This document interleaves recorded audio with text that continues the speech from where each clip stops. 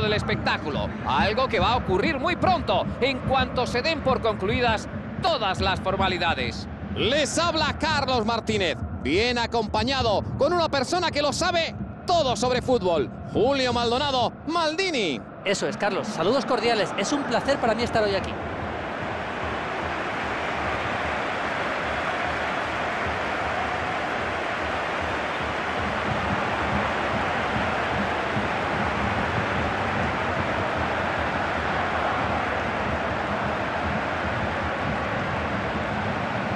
Vamos a ver qué once han decidido alinear los técnicos.